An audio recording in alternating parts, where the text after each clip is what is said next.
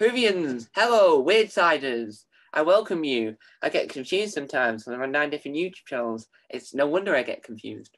Um, and welcome back to the interviews. Woo! You're probably wondering, where have I been with these interviews? I'm amazing at this. Well, I've been over on the uh, weird side, uh, weird side. I've been over on the Taskmaster World interviewing people from New Zealand.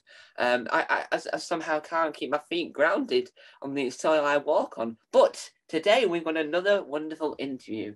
Not from New Zealand this time. See, I'm adventuring out. I've been to New Zealand, I've been to Sweden. Now I am in Australia the, the home of some of the greatest panel shows. As well, Taskmaster's not in Australia just yet, but Spicks and Specs is. So so you ah. still got that wonderful show that um, Adam Hills refused to mention anytime he's on anything. But nevertheless, we also have some other wonderful things, things that you never expect you want to hear, but you do hear.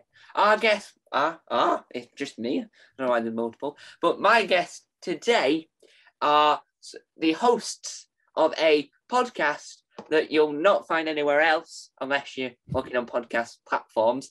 Uh, escape this podcast, and hopefully, we manage to escape this interview at the end.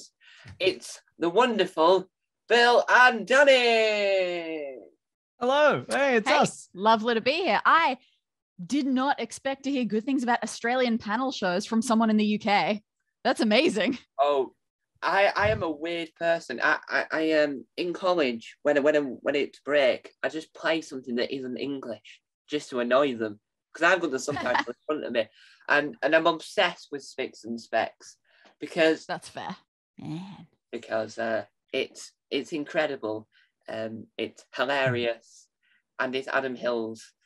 But he, he does he did a podcast once called Parenting Hell, and he refused to mention the name Spicks and Specs he said, "Oh, I run this music quiz show," but he never mentioned it was called Spicks and Specs. That's curious. Interesting. Um, but it is fantastic. At the risk of turning this interview that is about our show into a Spicks and Specs interview, it's just it is really fantastic because the thing that was good about Spicks and Specs is the level of comedy trivia, to earnestness? and yeah the earnestness of the music it was in, it was actually quite intense musical trivia mm. that was still easy to watch without being like a silly dumbed down version of something for mm. a panel show that's just silly fun. Yeah. It's just a very well balanced show. I, it's very rare to find something that's that intellectual but also that light. It's very good. Yeah, yeah and and um, what was the question again? Sorry we're talking about Spicks and Specs now. We'll, we'll get back on to the main point but to round off our Spicks and Specs chat yeah if you want to watch Spicks and Specs outside of the UK, I found out recently if you go to www.archive.org, ABC Australia uploaded it uh, themselves, and you can watch a two part episode with Jon Richardson in it, where he gets surprised at morning TV. Oh, nice. yes. Um, there you go. That's that's trivia about Australia. Now we, we move on. We move on to why we're here uh, not to say how much we're like Adam Hills. Um, so you run, you two run the amazing podcast, Escape This Podcast. Um, first question: Where did the name come from? I have been writing for oh, basically my entire life. I've always been story writing. And I think one thing that I have never done is come up with titles. Would you say that's fair? Yeah, no, I think that's fair. Look, it was one of those ones where we had the idea for the show. We thought we'll do escape rooms, we'll make them audio escape rooms, we'll have people come on and solve them. It's like a fun thing. Guests are coming on, they're playing a full escape room. Audience members are trying to play an escape room while listening. And I think I want to say that Escape This Podcast was a joke name at first because it was just like, hey, Escape This Podcast. And then it was one of those ones you say it you yeah. think it's a silly throwaway joke, and then you say it again and you're like, actually, it has kind of like it. all of the SEO you need, doesn't you, it? You, you Google it, you say, does this, you know, no one's done something similar. Actually, yeah, that's kind of, and eventually it just grows on you and you, and you hope it works. Um, and yeah, I think it has. It's been fun. And it's sort of expanded into the rest of our brand. We have spin-off. we have a spin-off show where we do murder mysteries called Solve This Murder. Uh, and it's just a fun sort of naming convention that works well for mm. us. Well, um, if if the podcast ever gets turned into a TV show, you can call it Escape This TV Show. pretty much. Exactly. It Yeah. writes itself. All of our work is done That's- for us. This is what I like. You pick the Seinfeld method of coming up with names where it's just, yeah, just the something, just Yeah. whatever, just describe the thing. Don't be clever. Exactly. And then that is in itself clever. Yeah. Uh-huh. And it, it- We're above all that. Yeah, it's a brilliant name for the podcast, and that's my only downside to to way I work is I come up with these rubbish names and think of another name later, and then realize Apple Podcast just doesn't want to update any of you any of your stuff and Oh, it all over. It's like, it's like annoying. So I changed my logo for one of my podcasts three times, and it stayed with the original logo with the Mm. with the wrong name. And then the worst is half of the services will update and the other half won't. Mm. And then you'd know, and then you've just got different branding everywhere. We were very lucky to, to solidify Get that early one. on. Yeah. made sure. Yeah, but now now um going we're gonna time travel back now to the origins of escape rooms and we'll and we'll start with with Bill. How did you get into this crazy world of escape rooms? Well, honestly, like I feel like there's not really a separate story for us. I feel like you be pretty went, close. Yeah. You went to an escape room with your family, with Mhm. your with your mum and, and cousins. Mhm. Uh, this was oh, what in 2016, maybe? So it was fairly early on for escape rooms, especially like escape escape rooms in Australia. You went to one of the first sort of rooms that was in Sydney. You loved it, and I think because we're both big video game nerds and role playing game nerds, and and we're the idea of like you could play this kind of like like a point and click adventure thing, but in real life where you're moving things and you're doing the puzzles. It sounded like a great idea. You went. Luckily, we went to a very like it was a good room. The, the people who ran the first rooms we went to, it was a quality room. It made sense. It was fun. And so then we went together to do one of their other Mm. rooms. Uh, and just from there, just started doing a whole bunch around the city. Uh, and I think that's the thing of escape rooms. Everybody goes to them really kind of, you're not sure of where, what it's exactly going to be because it's such an odd, novel concept. And it, we were very lucky that the first ones we went to were good. They were good quality ones. And if you go to a bad one, you're like, oh, I get it. It's like a room that's poorly decorated with bad puzzles in it. I guess that's what all escape rooms are. so luckily we went, oh, Yeah. it's a narrative experience. It's got uh, fun, weird puzzles and great sets, and you're locked in and sub rooms and all this other stuff and and weird things hidden everywhere. Great. This is what all escape rooms are. And we we loved it. And then from that point, we started making other escape room friends who could give us recommendations for the even more impressive ones after that. So it just kept going up. We've never had to like skulk around and try for ourselves to find out which ones are good, which ones are bad. we always, Always have had the very good good, advice from Yeah. knowledgeable people. Well, well luck, lucky for me, I actually live near two escape rooms. Nice. Uh, and, and, and Good ones. Yeah, well, well, I haven't been to the one that's really close to me, but the ones that's a little bit further than me I've been to, and, and they're very good. But um, I I always think that escape rooms are, are interesting because not only can you go to an experience, you can also be in a room where you have to escape in real life. So when I was younger, I was trapped in a room and we had to try and escape, trying to escape the room. Um, that was a poor joke. That's not what. um, No, yeah, it's it's very interesting. Going to a first escape room is such an experience. It's really terrifying, honestly, when you don't know what you're going to be in for for it. You, I definitely, if anyone hasn't been to one, I recommend going with people, at least one person who has been to one before and can give you a bit of a lead into what to expect. I spent my most of my first escape room. There was a stack of newspapers in it, and I was scouring them, going, "One of these news stories has to be important." yeah. No. yeah, on one page of one newspaper, there were some circled letters to read, Mm. but I just read the entire stack because I didn't know how deep the puzzles were going to go. And yeah, I tried to find YouTube videos and things like that of people doing escape rooms, and there were only one or two out there, and they seemed really scary. They seemed frantic. They were all horror themed for some reason, and they just seemed like people were just running and screaming the entire time. I don't know if I saw a single puzzle. So, quite frankly, I was terrified before going into my first one. sure And luckily, my my mum was doing them, and they were her experience before they were mine. Yeah. Which just it feels all kinds of wrong, but you know what? I figured if this is her thing and she is enthusiastic about this, She's a wuss. I can do it. I, we took her on a roller coaster once and she came off and went to us. wow. She's Yeah. not the thrill seeker of the family.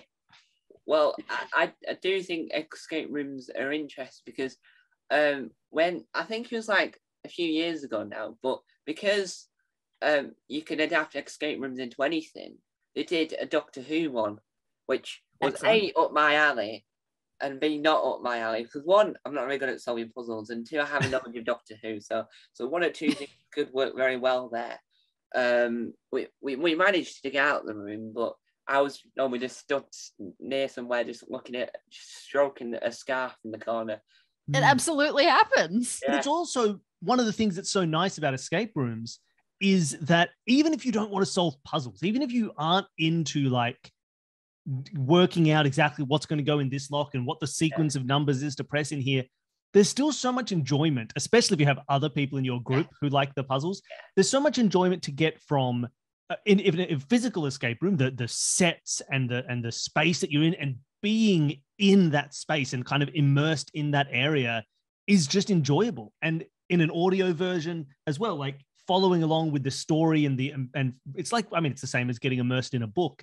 Yeah. There's even without the puzzle aspect, just being in a space and existing and making decisions and seeing how things play out and and just even just watching a door open that opened in a cool way can be a satisfying use of an hour. Just be like, oh my god, there was a bookshelf and I pulled the fifth book and the door opened. It was amazing, like in the stories. And ideally, there will be a different variety of tasks that get to do that aren't all puzzle puzzles. Exactly. mm. Like I remember one that we went to, the only one we've been to in London, there was a big puzzle that was connecting bits of pipe to one end of the room and then ho- snaking them across the room to plug into the right spot at the other end of the room. I f- I always say I felt like I was on Survivor while I was doing that. It wasn't a hard puzzle. It was connect this to that. I felt great. Yeah, and and part of it is it was I remember because it was such a satisfying. It was like you know you take this big thing and it conks into Yeah. this, and, you know, and it's very visceral. You and feel very, powerful. It's it's a nice feeling. I mean, we've had enjoyable times in an escape room hitting a small drum over and over again for twenty minutes,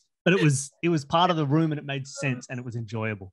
Yeah. And you've Uh, got the people whose job it is to find certain things, the people just who have to keep things in order so that everything makes sense and you don't get lost. And you can always be valuable, even if the puzzle solving yeah. isn't necessarily something you're used to. So with with escape rooms, you can have them on any franchise. So there's a, a Sherlock Holmes one. Now Mm. from the TV, so so this is this is probably going to alienate half the viewers. But if from if any Australian TV show that that you don't know that if it's international, what TV show would you want to see as an escape room? What's your immediate first thought? My immediate first thought is round the twist. twist. was mine. round the twist. I don't know if it made it to the UK. I'm assuming it, didn't. definitely did make it to the UK did. because we Right. now use it as our Sainsbury's advert theme tune.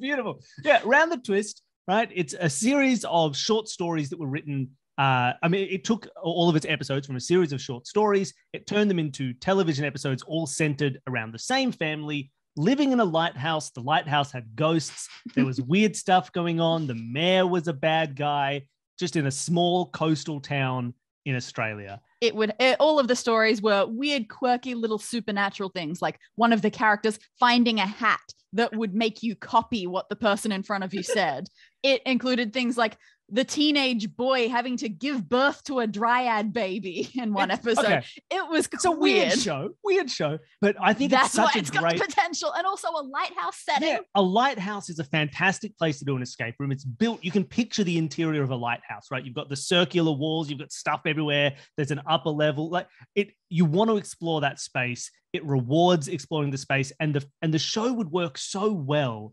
at being able to take little tasks and tie each of them to one of these strange episodes, one of the strange things that happen. You know, you put in the ghosts and and it would be either fan service for people who know it or just a fun series of like narratively justified weird things to do in a room. I think it would work very well. Mm. We haven't given any thought to this before, but it is clearly apparently, Apparently. the right answer. No one's doing a sea change escape room. i wish i'd watched it maybe that could have been No great. one's doing a uh uh, oh my god, what are some other weird Australian shows? Jeopardy, but not the t- quiz Not show. that the one, Jeopardy. the one Oh, where a no, bunch of kids. Jeopardy, yeah. Yeah, that was actually a UK show. I think. Was it? I don't remember. Well, there was a program called Jeopardy, and it wasn't a quiz show. It was some weird program that that everyone just blocks from the red because they don't want to remember it. Um, they- they've still got it on the CBBC website, so I don't know it because fifty percent of British TV these days is Australian. Yeah, that's true. So, so you can turn it on and you're watching an Australian program, and each episode is a I, th- I can't remember what it's called, but it's a football program where it's about the girls' football team, but they can't make the mind up whether it's soccer or football. So in each scene, like let's go Oh. and play soccer. No, let's go and play football. I, I'm on the girls' football team. No, no, I'm on the boys' soccer team, and they can't make the Yeah. mind up. Three scenes. I That- that- do. I do grant you that is pretty true to the Australian yeah, that's an, experience. that's an Australian experience around You'll that find sport. some people who are definitely soccer and some who are definitely football, and never the twain shall meet. exactly. and then you watch them do interviews, and it's even worse because there's Mm. there's side of line, and one's like, "Oh yeah, I, I used to play football," and then the other one's like, "I've never played soccer before," and did the program, Mm. and then the presenter then couldn't work out, and then the presenter just looked like she got confused. Yeah, Yeah. all That'd be Australian sports you have to just pick up from context about what anyone's talking. about. Even football, like That it can could be, be, four soccer. different sports. If you're in Victoria, it's definitely AFL. If you're in New South Wales or Queensland, it's definitely rugby. But maybe, or who knows which rugby? Maybe they're talking about union. Maybe they're talking about league. No one knows. We just say whatever we want. You assume it's a sport. Now, um, now I I have I haven't answered this question. Now, nowhere boys. I don't know if you've ever heard of it. I don't know if it was past. you watched that one, didn't you? No, Which nowhere, one? you? Nowhere Boys. Nowhere Boys was uh, the program that was about uh, this magic where all the parents had forgotten who the children were and the children were in a parallel universe. I've Yeah. definitely heard of it and seen the ads for it. I thought you watched that. I have not. I'm sorry. Series one to three aired uh, in like 2015 and and 20, no, in 2013 and 15, and then in 2021 they then decided to air the final series after all the after everyone had probably Oof. found it illegally. Um, but it would work as an escape room because it's like it's like a, a world where these kids have got magic, and then they've transported to another world where they've no one knows them, and they get back to their other world, and then they've got magic, and then and then they have to work out how to work life Mm. with this magic, and then they have like zombies and, and they have alien versions of the friends, and then they have like people that want to zap powers off them. So I reckon- Excellent. I reckon that would work because they've got like this like like necklace sort of crystal thing that breaks in half. And so so one of the, Ah, one of their puzzles within the show is trying to piece it together to get it to light up.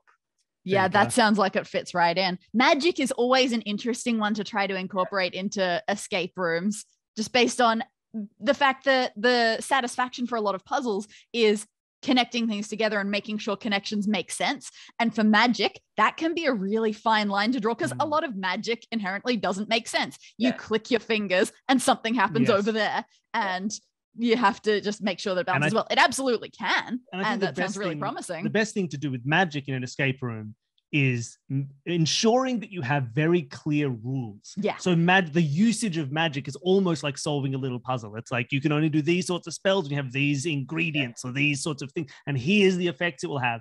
And honestly, it's things like that as well that can work a little bit better, I think, in virtual escape rooms or audio escape rooms. Oh yeah, because- you're not confined to real world And you feel- physics. and like the ability to, to, to describe yourself, like, oh, I'm going to walk in, I'm going to say the magic words, I'm going to throw my hands over the air and, and do this, this weird, cool thing is much easier to describe than it is to do yourself, knowing there's a person watching you on camera as you stand in the middle of the escape room, hoping you're flailing your arms correctly and you feel very embarrassed Yeah, in been person. there.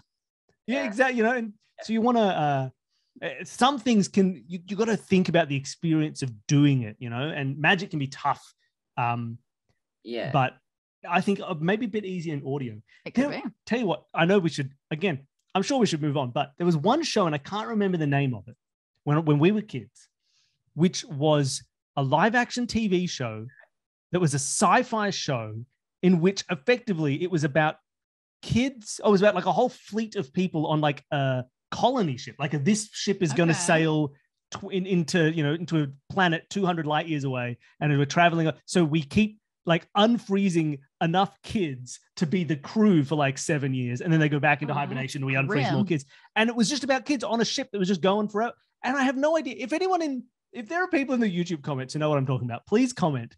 It was some familiar. weird- It was some weird show. nothing. And yeah, and it was just, uh, I believe it was an Australian show, and it's just kids on a ship piloting the ship that was going, it was going to go, they were going to get frozen eventually and then wake up on the future planet that they were on. It was like, oh, it was like Silversun or something. I have no idea. It's something like this that you could do an escape room of.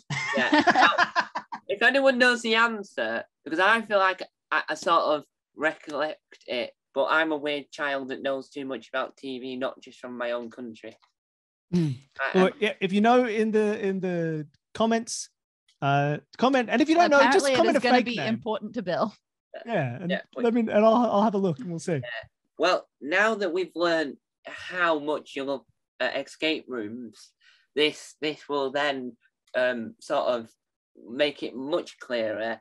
And then, where did this love turn into a passion project of a audio podcast podcast that has the best logo I've ever seen?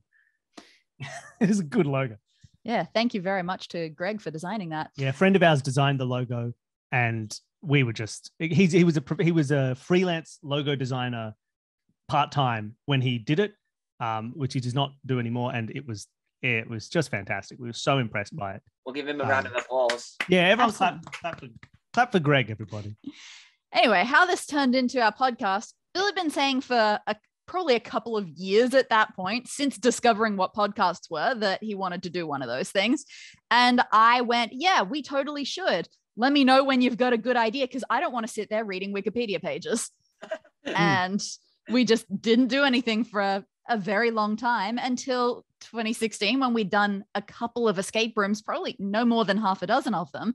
And then just sort of looked and went, do you reckon those two things go together? and even chance? even then, we had sat and spent a day deciding, let's try and think this through. And we sat, we spent an entire day uh, trying to brainstorm what you could do a podcast about. What Hmm. what Only one day. we were we well we, we we were thinking about for ages, but we spent a day. We sat down, uh, and I think Greg may have been part of that as well. Really? Originally, I believe he was Ah, there for that. nice. Um, and uh, I mean, if I say any more, he'll ask her for some money. Uh, but we were all sitting together, and and we were just going and going and just talking and talking and trying to figure out what you could do a show about, what would be fun, what do we know, you know. this was the big problem that I always felt I wasn't an authority enough on anything to Mm. do a nonfiction podcast, Yeah. which was a lot of the podcasts that I knew about at the time were experts in topics talking about Mm. them. And I was not an expert in any topic. And then there were, you know, there's also just the oh, we'll just kind of chat about whatever. And it's like, well, I don't know if we want to do that. Do we want to make something that has like a proper Structure. kind of artistic or like an artistic integrity to it, I suppose. Like it's a re- like it's a real thing. It isn't just sort of us sticking a mic, which you know is a very viable thing for a lot of people to do because a lot of people are very very fun to be a fly on their wall. But we just wanted to make something that felt like I think for me I needed more of a creative outlet, which I didn't have That's at the time. And we sat, we thought, we thought, and eventually we got to hey, escape rooms are fun. Maybe that could work. And I think we we did a little uh, impromptu test of the idea. It was just like make up an escape room right now. Let's like just start describing a room. I'll start describing what I do, um, because we'd played uh, tabletop role playing games, kind of Dungeons and Dragons style games, and and we'd been I'd been doing that for years. I mean, so would you, right? yeah, Billy introduced that to me when we were teenagers. Uh, and so we thought, oh, I wonder if you could make that type of content, but for escape rooms. We gave it a, a like a five minute playtest of pure improvised nonsense, and went, this is actually very fun to listen to. Um, I can imagine sitting at home and saying, "You idiots! What are you doing? Press the green button! What? I figured it out ten minutes ago. Wow, these, these people are so dumb."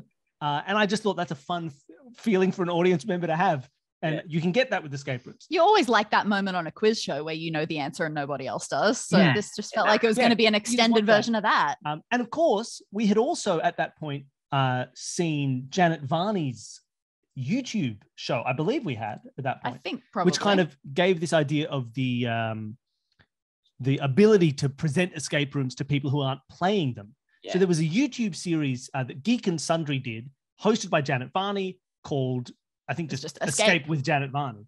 Um, and it was similar. It was filmed content of of celebrities doing escape rooms that they had fully built up and fully mocked up and and done all that sort of stuff. And and that was an enjoyable show for us. It kind of showed that there was a viability Yeah. in enjoying escape rooms when you're not the person in them.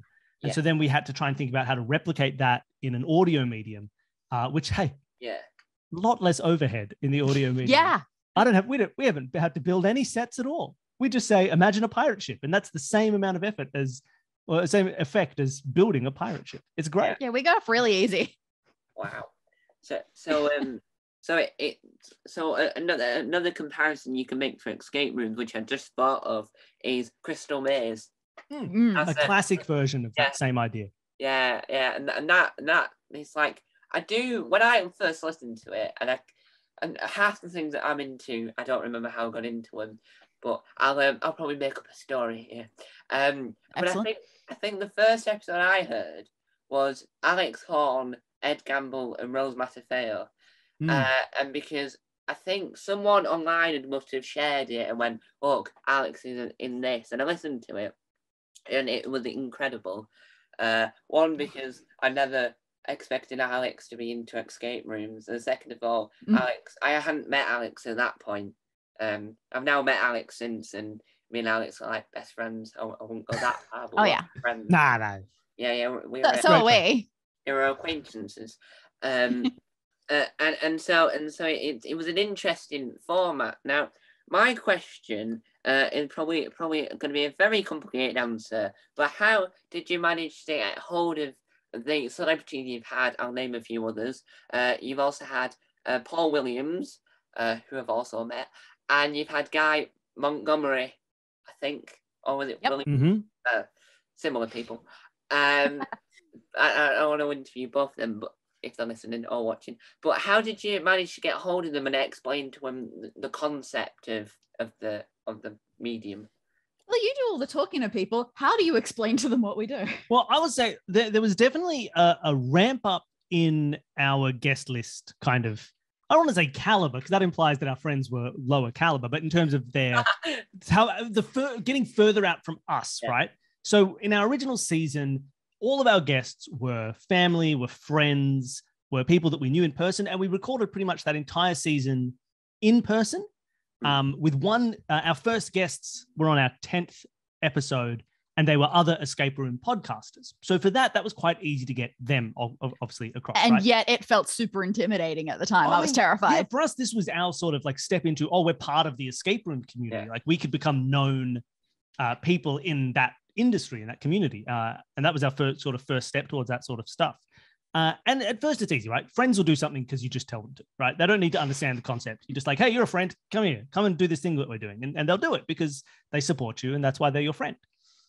And I think from there, we sort of moved up into other indie podcasters, people who were like us, desperately trying to build an audience and they wanted to interact. We wanted to talk. And we met a, a bunch of lovely friends through that. And um, and for them, really, the thing that works so well for us in terms of getting guests on the show is that we don't need to say to guests, like, would you like to come on? You have to kind of prep this, or we're going to talk about this, or what are your opinions about XYZ? Or could you like come on? We're going to like, ask you the hard hitting Exactly, questions. And so there's no feeling for our guests that like this is going to be a job for them or this is going to be a, a, thing they've had to do, uh, you know, for the nth, nth time or this is going to be work or they're going to have to think. We say to them, hey, You would wanna play a game? Yeah, do you want to play a game? Would you like to play a game? It's very simple. If you know escape rooms, and generally we try and err on the side of getting guests who do know escape rooms. Yeah, right, Sometimes, sometimes we don't. Yeah, Um, but you know, say, do you want to play this sort of a game? You we, you will we'll talk you through it. You just need to turn up and and do something fun. Uh, and I think because of that, there's a, there's it's easier to get over that hump of yeah, people agreeing to it because you say no effort, no pre prep, come play a fun game, which you would usually like pay someone to run for you. Come and play a game. Um, but part of what works for it is, you know, we were getting uh, indie podcasters and then other sort of more prominent podcasters and, and people in the escape room industry as well. Uh, well, one of the things that, that helps is when you have had guests that have some kind of kind of cachet to their name, some kind of clout to them, where you can say, look, we've come play a game. We've had people on such as XYZ. And then they go, oh, you know, oh, like you, you, you say to Paul Williams, would you like to come on the show? we I don't did we get Paul before Alex or no, after Alex, was right? first. So we had Alex Horne on the show Alex- because Alex Horne is is very very love. He's very open to to people kind of getting in touch and saying hi. And and we thought about you know, hey Alex, it'll be great to have you on because You Clearly seem you like, like a puzzles, puzzly minded you know you will, person. you will enjoy this. Oh, we oh, were yeah. surprised that he wasn't a big escape room yeah, we thought he'd be enthusiast beforehand. He's practically designed them in Taskmaster. You know, he's he's that uh, the whole challenge with the key in his hand and the and you have to run around and find all the clues and Yeah. follow them. I thought it must be that he loves escape rooms. Yeah. you know and Yeah. the fact that he hadn't really done them i was like oh that's wild uh, but then you know when you get paul williams on you can say look we've had alex horne on you're new zealand's alex horne now would you like to come on and he goes oh great like that's a clear thing that lets me know this is a legitimate project Yeah. and then they can come on and and have fun with that one of the first things that helped out i think with that was we had neil patrick harris on the show Wow. um I've not heard this one. This is news to me. I thought I'd heard all of them. Wow. I can get on that. um, but yeah, so so he came on the show, um, and that's because he is, uh, and w- we had him on as uh, uh, like on our list of possible like great guests. Like, wouldn't it be amazing if we could get him on the show? Because we knew he was a magician. He loved puzzles. He wrote a choose your own adventure audio uh, uh, autobiography. Like, we knew that he was in this world of puzzles and games and things like that. So we knew he would enjoy it. Yeah. Um, what we didn't expect was he was so deep in the world of puzzles and games that he actually found our show before we ever reached out to him. And he reached out to us and said, I'd love to be on the show. So that was an easy one to organize. Uh, but at that point, you know, it, it that was sort of the, the the the more and more you get guests like that, the more it legitimizes your guest list. So you can reach out to other people and say, look, we've had these types of these kind of people, and Yeah. these we've had uh, you know podcasters, we've had actors, we've had this that, and the other, we've had designers. Would you like to join that thing? And the the more in alluring that is, the more like, oh, look at this, look at this wonderful company you could be part of. The more they think, oh, okay, let me just take a second to check it out, or maybe I'll be receptive to this. And then you say, if you like escape rooms, it's like a free. You're going to play a free escape room. We're going to put some microphones in it so we can listen. to Like, an ex- to an know. extent, like with Twitter as an existent thing that everyone's on, great. being able to reach out to people is shockingly easy nowadays. Mm. And you know, sometimes if you just manage to find the right people who are communi- communicative, yeah, like me, um, and who just I don't know, you get them in the right mood for playing a game, they say yes, and it just feels nice and natural and like a good conversational thing that could have happened anywhere. Like that was how one of the first really big exciting ones to me was getting Jason Ritter. Mm, yeah, and Jason was lovely because Jason Ritter uh, was just kind of uh, responsive on Twitter to the idea. It was just a cold sort of message to say, "Hey, would you like to come and do this? We, you know, we, we're very big fans of yours. We know uh, that you like escape rooms because we had seen him on Janet Varney's Yeah. Escape with Janet Varney, and we thought, would you like to come on? And he was very lovely. He's an incredibly friendly person, and he agreed. And and we uh, we had him on, and and it was fantastic. We had him on twice, both times incredibly enjoyable. And uh, yeah, the more you get people on, Yeah. The more the easier it people want to come becomes. Um, and also, yeah, it's just fun to get people want to play a fun game. Yeah. I think right they they're almost don't even need to think about the fact that it's a podcast because like don't even worry about performing, just solve some puzzles, and you'll just be naturally charismatic. And I think that that's helpful. Yeah, and and when you were saying about once you get like bit like sort of ish big names and then more people join, I think I think that's how uh, I've managed to last this long, because um yeah yeah it's it's surprising because I in 2020 I interviewed a, a- a very small YouTuber and then the- with the first ever and my second ever interview with Alex Horne because we had email we had emailed him then twittered him and I, I think I must have sent him the same message many times because Mm. he sent me a direct message just just read done and I have no idea what it was because obviously by that point my, my memory had been faded of what I had done to sort of do this but then I ended up interviewing him and then last year it was 23 people and um, and there were a mixture of oh some YouTubers that I I uh, ish knew and then a lot of them like people that were from my childhood that I was watching on TV I Mm. unfortunately met and then and then it all went weird by the by the time I interviewed the Swedish taskmaster and then and then met Paul Williams and met a load of contestants and met the bloke that helped Paul write the tasks for New Zealand Ugh. he reached out Mm. to me in my YouTube comment section, and then it just like your, your list gets bigger, and then that Mm. helps you. So then when I when I say I want to interview, let's say for instance Bear Grylls, I've got an arsenal of people that I can select. Or if I interview someone and I know they're friends with people I've Mm. interviewed, you then link them to those, and you say, Mm. "Well, I've interviewed those people. How about you?" Ooh. And, and, and it is Absolutely. it's a legitimate kind of feeling in the same way, especially if they're already friends. Like I would go and do something if if we talked about Greg designed our logo.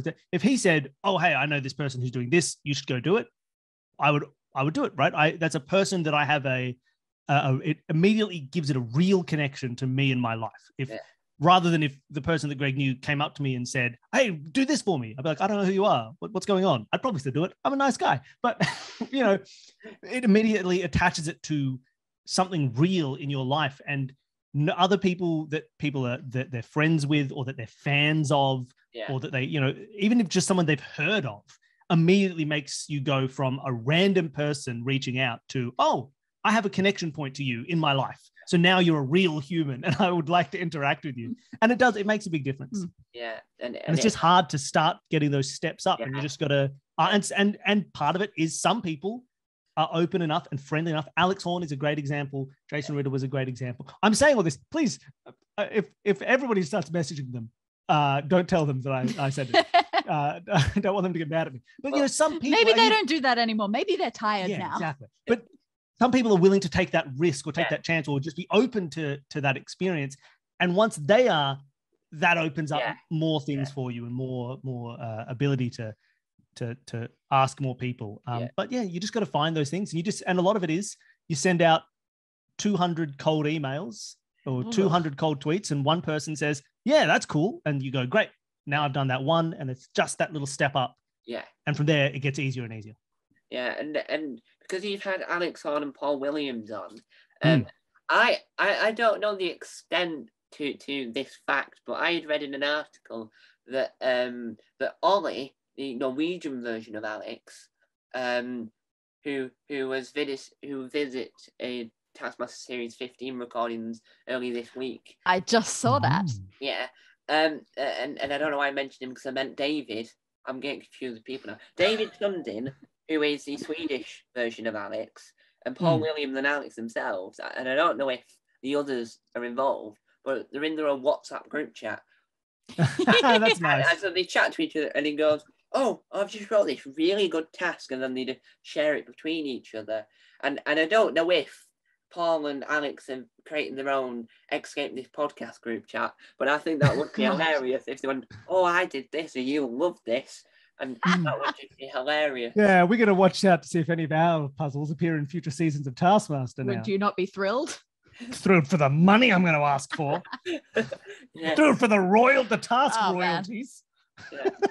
There are some things you can only dream of, and I think having the Alex Horne, Paul Williams private WhatsApp chat about yourselves. Yeah, that's, what you That's want. one of That's them. the dream, I think. that would be brilliant and and really and over the years of of, of podcasts and all this and Ed Gamble speaking on it he is in a he is in an escape room team with Rose Mm. and Paul um Mm. and and, it, and it's really in- interesting now with um you you said you had another podcast called Solve This Murder um how come you didn't call it Escape This Murder"?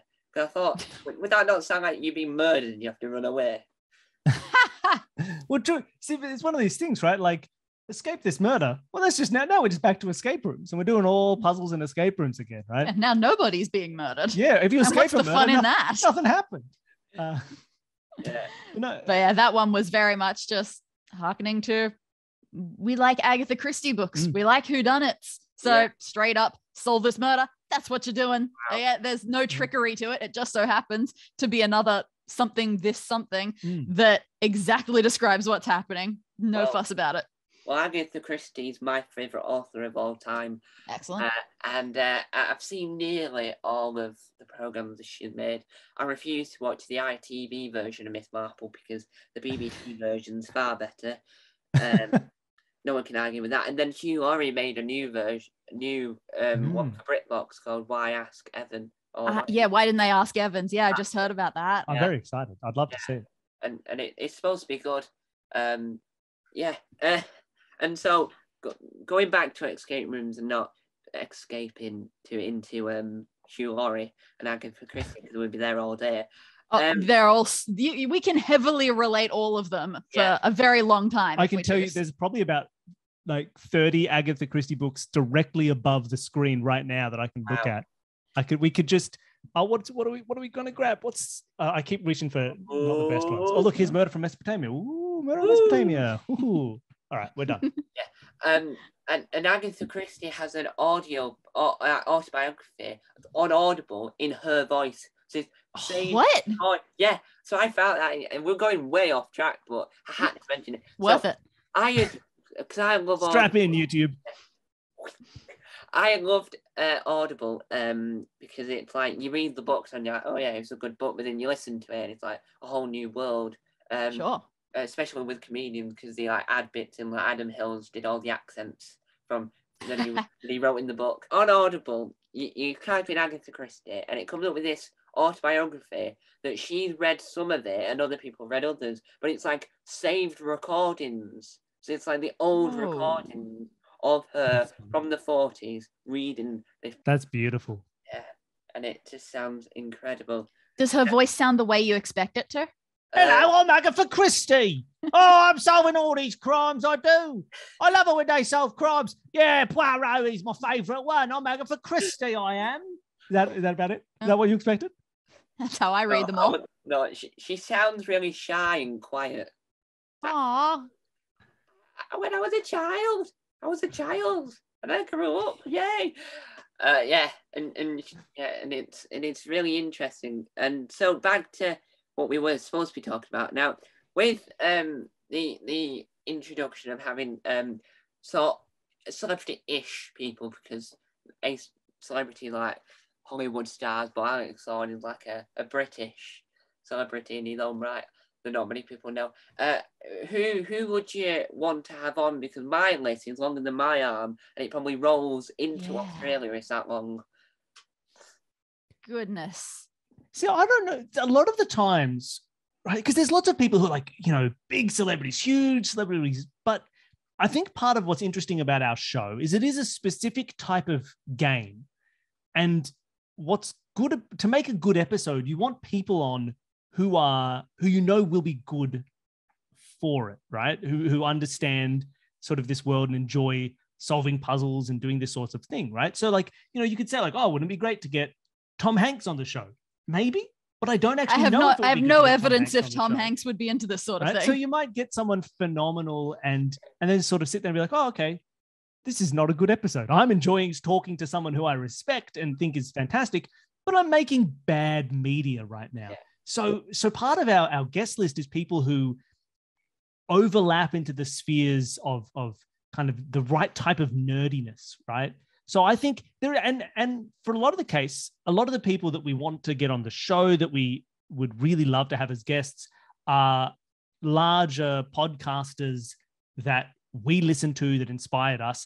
And luckily, at this point, we're sort of ticking them all off. Yeah. Right? We're, we're going, oh, we got, you know, you want the McElroy family, we'll get the McElroy family. You want Good Job Brain, we'll get Good Job Brain. And so That's it's been, really lovely. that's been very very lovely for us we get to get people who we who are kind of our uh, our podcasting heroes to to come on the show and play through them it could be like there's lots of fun stuff to think about but i i just don't know who's like a, a super super a-lister that you would think oh they'd be great ryan reynolds would probably be good i don't think ryan I reynolds think could he, produce a poor episode surely he would be into this. I think he'd be the right type of uh nerd to be into Yeah, yeah, he gives off that feel for sure. Ryan, if you're listening, come join us. Come play a game with us.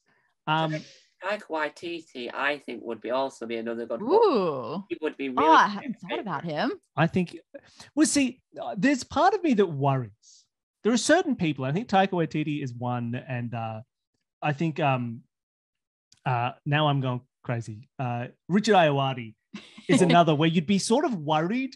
You get him on the show, and they'd just be like, I'm going to break this show down and then not and refuse to engage. I'm going to figure out. the level. I out don't play your game. I have my game. I'm going to take what you're doing. I'm going to deconstruct it and then deliberately not put it back together again. I'm going to throw the pieces off the and it'll board. be hilarious. It'll be it'll be great But- fun, but I don't know if we'll get to the end of it. And there are Australian um, uh, celebrities as well, like that. Like I've always thought, um, I've I've been a long time fan of the Australian sketch group Aunty Donna. Oh They're yeah, fantastic, They are, they are. Wonderful, but also uh, notorious for destroying every interview that they've ever done. And just absolutely demolishing it, taking Yeah. apart, and being in character, and deliberately going exactly up. And and it's great. It's very fun to listen to. But I've always thought I don't know if I want to we, reach out. we do not make complimentary sorts of media in that game. way. I think they're phenomenal. I don't know if they would. I think if you got any of them individually, they'd they'd be great. They'd be incredibly smart. They'd figure out. They'd play. They'd be charismatic. But if you got all three of them together, they would just. That's a like, comedy troupe now. Sorry, we're Aunty Donna. We're going to break this. so it's an interesting balance to find. I think Taika Waititi could be phenomenal. Or He might ruin it. He might break it. He might destroy everything. Uh, so you never know. Yeah. Yeah, I still, I still think that uh, the one person that we definitely need to make sure we get Me? on at some point, Is it me? Victoria Coren Mitchell. Oh, Victoria Coren Mitchell. Oh, phenomenal. that would be brilliant because her. Love to get she did a Victoria. She's in a brand new program called Reaction Brain, where Richard Hammond, of all people, is hosting the panel show, and she's a team captain. It's all about science, and she uses her brain to work out whether a man, a blacksmith, would smash a diamond with his hammer, or a rugby player would not get wet if his house was on fire and there was a door in his way. Yeah, fantastic. and last I heard when uh, I was on Ed Gamble's Taskmaster podcast, she had not done any escape rooms, but was interested in them. Well, then we And I think our show is a good place to fit in there. Yeah. So Ryan Reynolds, if you're listening, could you ask Victoria Coren Mitchell to come on our show? don't think Ryan Reynolds knows Victoria. Ryan Reynolds listens to every interview show on YouTube. He's got to keep up Uh, with what's happening in the world. He- It's his only source of news.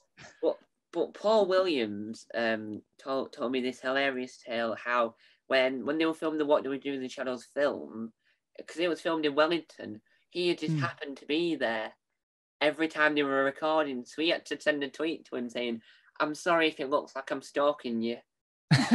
He just because there's a whole there was he was in he was in the film Paul Williams, but they deleted What? the scene. They removed the scene Oh. from the film, but he was in it because it was by accident. So he was just in that pub, just having a Happened to be there. they're it. He- They're he- not. They're not doing anything to help their reputation of being small with only 20 people living there, are they? yeah. Oh, everybody's in the film, right? Um, yeah. Yeah, and and I I think um Adam Hills would be good at Mm. Yes. going back to our obsession of, of Spicks and Specks. Of course. And I'll tell you what, I'll make him talk about Spicks and Specks. I'll Yeah. make him say Yeah. it. I gotta say, He'll say Alan, it. Alan Brough Myf Warhurst, I think they would be fantastic as well. I The think whole- that the they whole all have good Specks energy for this. Trio would be perfect. I think they've, yeah, right. Um, no, Adam Hills would be fantastic. Um, You would. there's be. lots of whenever you start to think about it there's, Yeah. you just find more and more but there's a particular energy like that's it that's like that's the right guest energy uh, for, for our sort of show so once you see it in someone you just sort of mentally add them to the list and you think all right great i'm gonna i'll, I'll maybe i'll message them maybe i'll email them I have one country, uh, one country. I have one question for you about countries. okay Do you, in particular, have any? Like, if we were just curating a shiny new guest list and we got to have everyone on it, any country that you would focus on guests from? Because I, I just still feel like we have shockingly few Australians. we do have shockingly show. few australians we, i'd love to have a bigger kind of uh, presence in the australian media market i'd love to get hamish and andy on would be Mm. fantastic guests lots of these sort of australian celebrities would be and we've i mean we've had a few um Oh yeah, not none. we had mark sure. humphries on but- i'd love to have gotten marc fennell on we almost did we were in kind of talking and uh, but yeah i think that would be lovely to do i do you know what would be maybe fun i've Mhm. no idea Hmm, nigeria interesting. I don't know. There's like it's a big kind of I, I don't know any you know maybe people from Nigeria.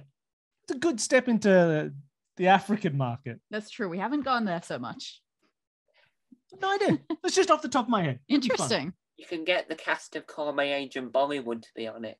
You can get the cast of Call My Agent Bollywood to be on it. That's awesome. Except they'll just keep trying to call their agent to get him out of the room. Some kind of Russell Howard. Ah, I knew I knew there would be a reference there at some point. I knew someone would make the reference. But um, there's there's one thing we- we- we're going way off track here. But um, if so, so Adam Hills, right, is amazing. But do you reckon Adam would be a good taskmaster for Taskmaster Australia? Oh boy, we discuss this so much. And most of the time we just end up saying, let's just not do it in Australia. We'd probably ruin it. Uh, but yeah, we have these conversations about who the Australian taskmaster should be all the time. I don't think Adam Hills has enough in him to just say, no, one point. That's that's very hard to picture nice. him doing. I've always maintained that my my pick would be Hannah Gadsby. I think would be a great Australian taskmaster. I think Shaun Micallef could do a pretty Sean- solid job. Shaun Micallef would go a bit too weird about it. He's a little bit too absurd, I think, to to to like he, he you know he, he wouldn't give things one point. He'd just be like, I'm going to give everybody no points, but you can have a blue duck. That's the point for you. See you later. I'm Shaun Micallef. He'd just do something a bit too weird. Interesting. I Wow. he, yeah, you, you got to find someone who's got the right balance of are they going to have the nice energy, the funny energy, and the mean energy? And it's very hard to pull off. Hmm. And, and and we don't want another situation where, where they have to call in Greg to yell at the Taskmaster, like like they did in the New Zealand version. That was pretty solid. Yeah, that, that was that's like the best way to cross over the shows. Just just have Greg just yelling at someone. Alright, and so with um the the podcast and with it being a with with a lot of podcasts now, especially British ones, now becoming the type of podcast that have it is popular and then go on tour and then create books, or or in the case of of uh, Chris Ramsey and his wife, uh, make it into a TV show. What's your end goal for this behemoth of a show? If that's the correct word, I probably didn't do it right. Yeah, people have started asking us What our- long term plans.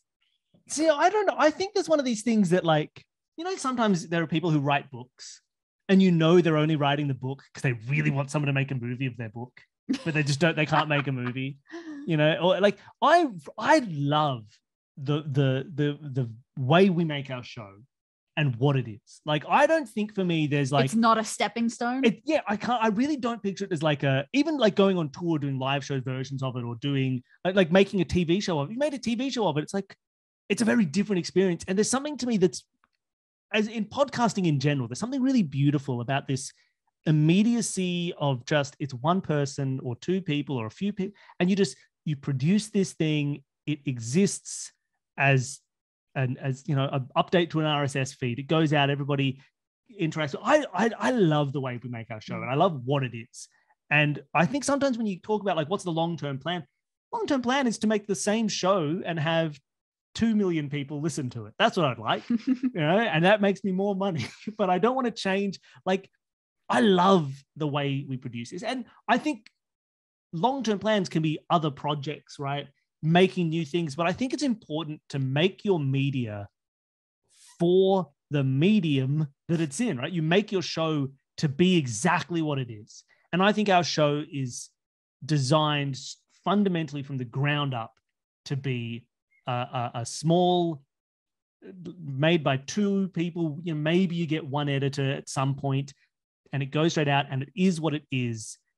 And I and I really like. I like that it's a game that people can download and play themselves. I like that people can get all of Dani's notes, play it at home, and do all that. And and you know, you think we could turn what we do into i think the closest i would get is try and automate the idea of playing it i think we could take our escape this podcast idea and have people be able to interact with the show as like they're playing a game right to, Yeah. to be able to get the notes and rather than have to have someone run it have a game or an app where dani's script is interacting with them as a player typing in like Mm. a text-based adventure choosing, clicking, Yeah. integrating it like that, I could see work because it is a game as much as it is a show. Yeah. But if we made a TV show about escape rooms, I don't think it would be Escape This Podcast. I don't think it would be Escape with Janet Varney. I think it would be something different.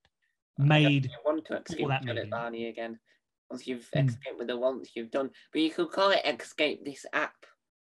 Oh yeah. Oh, we we've got a naming convention now. We're we're You sticking with it. It doesn't. the word You don't have to worry. You have to trademark it, the word escape. So then you Mm. I I don't know if we can justify that trademark.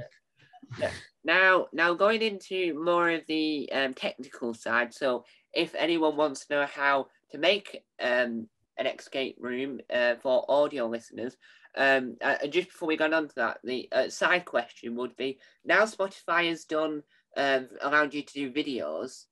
I would you ever reach into that medium of of uh, doing a video side for the Spotify listeners? Video, I think that I have two reasons that I wouldn't be crazy about that. One is that that seems way harder to edit for Oh, you. it'd be way harder to edit. And the other reason is uh, we've done a couple of live shows, and even on our podcast, we often do the recordings with video between me and the players. And uh, my face gives away everything. everything. If we do too many videos, I'm sure you will eventually see me mouthing the codes. so it might not be the best idea.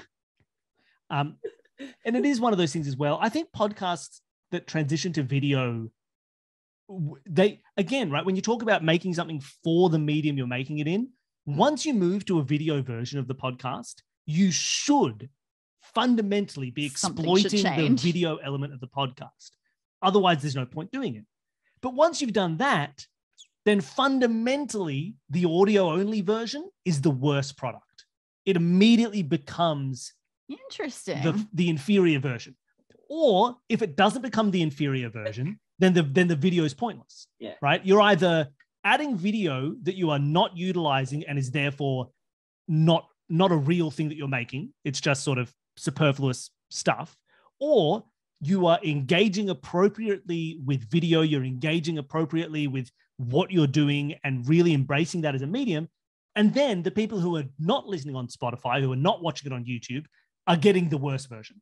Yeah. Uh, and I don't want I, I don't want that to be the case. I don't Yeah. want to either do video half-heartedly and so it's not a real thing, and I don't want to do video appropriately so that the audio is yeah, there are some real. shows where you can immediately see the potential for adding video to them Mm. and the different experience that that could provide where they're equally good. I don't know how much ours Well, offers I think that you either the long you, you either go the whole way in or you don't do it. And I think anywhere in between is a betrayal of someone somewhere. Some part of your audience you are you are treating poorly. And now going back to the, the question I was going to ask before I, I sidetracked. So now, so and, and I've had time to, to word the question better in my head. So if I, I, I this, if Adam Hills ever watching this, he's going to be weirded out now. If I wanted to make a and Specks escape room, or, or an escape room in general, how would I go about doing that? If I wanted to create it in an audio for audio listeners, so if I was like on, for instance, I have my own college radio show. If I wanted to do an escape room, how would I go about creating that? All right. So that yeah, this sounds like where I always start. You just get the idea. You have to go, okay, so what actual what is your room that you want this to take part in? Would it be the Spicks and Specks studio? Would it be a live show version of it? What would this be? And actually try to get what room you are going to be in first. And so let's say that it was the standard Spicks and Specks stage studio, what it looks like. Then you have to come up with what is essential, what has to be there and then what would be fun to be there. Yeah. And so you would go through, yeah, all of the things, all of the typical set pieces that you're expecting to see, all of the funny side things like the bicycle that you have to ride at a certain oh, speed to make different sounds happen. You, you have to have things like that in there. They just feel like they're ripe for puzzles. So you just try to find all of the things that you know fit in that space that either just have to be there because you have no choice. Like if you're going to set something in a bedroom, it's pretty weird if you don't have a bed. Mm. Uh, and then you just try to find the fun objects that are in there. And at that point, people can vary in terms of how, what order they do things in. For me, I come up with okay, what makes sense about this object and what makes sense in terms of obstacles. Yeah. I like to have my goal in the room. What is your final goal? Has Adam Hills been kidnapped? Has he kidnapped you? What's going on here? Adam Hills as a kidnapper. I, I, I couldn't imagine that, but that would be hilarious. And so, yeah, then you've got to find out what is your eventual goal in the room? What's the story of this room? Hmm. And then you can sort of find out once you know what your eventual goal is, you can find a place in the room that you are trying to get to? Like, is it just the front door is locked and you need to find the key for that door? Or is there something more to it? Is there something else you have to piece together about the room? And where is that going to happen? And, you know, like any who done it, they always say you can start from the end and work backwards. Mm. So once you know what your obstacles are, you can start to figure out what is in your way and where the puzzles fit in naturally. Wow. And and so with with um ex- escape rooms being something that isn't like you just walk into a room and then have one in your head. How how many hours does this take to create the idea and then actually try and generate it so you can visually see what you want to happen? just okay just the initial visualization part that tends to come in one big flood right at the start that's the easy part once i've got the idea i can draw out the room figure out what's in it occasionally a couple of times getting the narrative of the room gets me stuck for a couple of days but once that is in place once i know what the goal of the room is everything that is in the room that's there that just yeah that's a really nice fun quick part that's my favorite part and then I just write down everything that's in them. I draw arrows between things and then I say, cool, this is going to unlock this. That's going to be locked. Oh, you'll probably find a code if you combine these two things. Um, I'll put a puzzle here. I don't know what it's going to be, but there's going to be a puzzle here. And figuring that part out is the hardest. Yeah. And then, yeah, actually, I then have to follow that up with several days of typing everything because I'm a very poor improviser. So I need to get my script down pretty much word for word. And that's the hardest part for sure. Because not just for myself, but because it, it, this is a very purposeful kind of writing that I am doing where I'm having to try to get that image into other people's heads. I'm trying to direct their focus to the right clues and misdirect in the right sort of way so that it doesn't feel mean, but things feel hidden. And so, yeah, that the actual just straight up droning typing section, that's the one that takes a few days. Yeah, Yeah, that that's for me. I'm gonna be improvise. So I write things down, then forget what I've written down, and just improvise and make it up on the spot. So, so on my on my radio show at college, I I write a sitcom and then record it and have it, and then because I have to sort of like make up characters that are with me in the studio because these characters like are stuck in a absurd location, like in a Sure. shop. I then have to make up what they're gonna say and how they're gonna sound. I do that on the spot where, Oh. where you can be listening to them talking and they'll have four different voices all in the same breath. All Yeah, we- we have very different skill sets. That is definitely not something I can handle. Yeah, and, and it, it all just comes from my brain. So I've had I made a sitcom called The Amazing World of Terry and Simon that Paul Williams let me use one of his songs as the theme tune.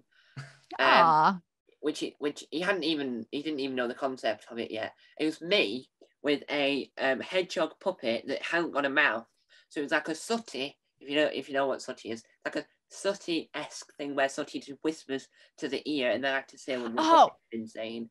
And obviously, I I haven't got the skills of hiding my arm, so it's like talking to me. and You can see my elbow, and I have to talk to myself, and I have to talk to that, and I have to try and come up with scenarios where a frog has then appeared out of nowhere and stolen the camera, and then I have to talk to a frog.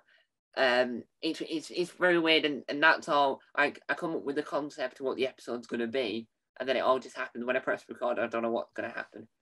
yeah. Our, our brains just have different connections going on in Mm. them. I would panic at that. there's also one of those things where like that kind of improvisation in an escape room immediately backfires because you'll say something as a silly joke and then half an yeah. hour later someone's like look in my notes they, they said that that frog and the hedgehog they were lovers. And so that's incredibly important to this code and you're like no that was a joke. No no no no no it's an incredibly important clue and i've been focused on it the entire time. And now that means that it's not 731 how could it be? That would be it if they were estranged. They're a- oh. so the seven and the three go together. That makes an eight. Oh my god what are you talking about? There are so many occasions where just in my notes, we've figured out in the play tests that there was just a throwaway sentence that was just meant to be haphazard room description or maybe a little joke or something that I wrote in for myself. I have to get rid of it hmm. because it sounds too important. people are searching for clues and so they will latch onto anything so you have to be very very specific Hmm. with your language i think even if you were a phenomenal improviser, if you were a It would you still know, be a big you would- risk. you would have to sit and plan out everything Mm. for the escape room because w- when it comes to the escape room, the language is the only thing people have to go on. So the language is the searching, it is the clues, it is everything, right? It's noticing you said cylindrical, and then over here you said cylindrical. So maybe those two things are connected. So you have to be put the same level of care in every sentence that an escape room designer does when they buy a new prop and they go, oh, hold on a second here. There's like a weird pattern on the side of this antique, you know, armoire that I found. People are going to assume that's a puzzle. People are going to be upset, and I have to fix that or change that or cover it. You know, people have talked about that going to escape rooms and saying we had a wooden floor and it had like knots in it, and one of them looked like an arrow. And so Yeah. people were following this arrow across our floor into the corner, desperately searching for a clue. And Yeah. I'm sitting there being like, no, it's a knot in the wood. It's in the grain. I Like it's in the grain. It's not in a one real of puzzle. in one of the early ones that we did, there was a crow, a, a resonance machine, uh, just a sciency machine, and I had spent a couple of years working in a lab. I knew exactly what it was. I knew how to use it. It was not relevant to anything. I really thought it was going to be important, so I just clung to that thing. Yeah. Yeah. And and so you have to be careful. Language is the same as the decoration of an escape room. And you and if you've done escape rooms, you know how often you can look at a poster and be like, "Oh my god, this is the most important thing in the world," and it's not. And they try so hard to avoid that because it's not a fun experience. Whereas a lot of what comes from improv and a lot of the great stuff about improv is latching onto things like Yeah. that from earlier and continuing it and making it you, meaningful. it's, deli- it's the, the joy of it is giving importance Mm. to things. And anyone who's run a D&D game will know this, or you know, Ah. a tabletop role-playing game. The most fun is when it's a throwaway character, and then your players get obsessed with it, and then so they become now it's and then- this guy's long lost dad. exactly. I And then like you bring him back, and it was like, oh, it's that guy, and it's so. And by ascribing importance to those things that are improvised, that's where the joy is. But in an escape room, that's where the pain is. That's where you just you cannot let them do that. You do not want, and we love it. People love doing it, and so you got to be careful. And and so this is a sidetrack to what I was going to ask, but I'll ask my thing in a minute.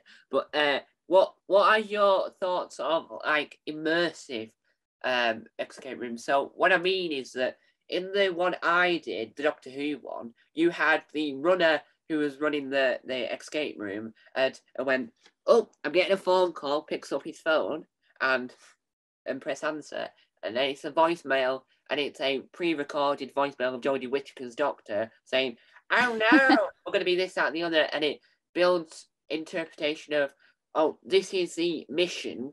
This is why what's going to happen in there makes sense, and this is why the Doctor Who references in there work really well."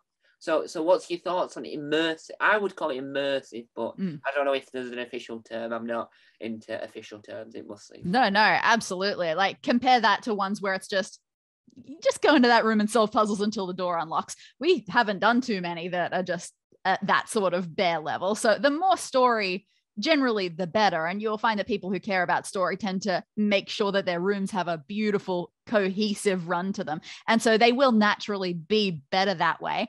Mm. That being said, I do physical escape rooms because I like puzzles if I went to escape rooms just because I liked stories, there are plenty of ways that I can get stories. And I love them in escape rooms, but they're not the primary reason I do escape rooms. So if there were none of that, I would still totally do the room and be happy with the puzzles. Yeah. It just usually tends to be more of an indicator of the level of care and passion that the people have put into Mhm. it.